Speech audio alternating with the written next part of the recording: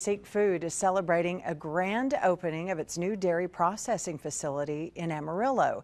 The new plant is expected to bring more than 200 jobs to the area. The company is also contributing a total of $35,000 to Amtech Career Academy and Amarillo College. The money will help support food manufacturing curriculums, also hosting a walk-in hiring event on Thursday, May 18th at the new plant on South Georgia.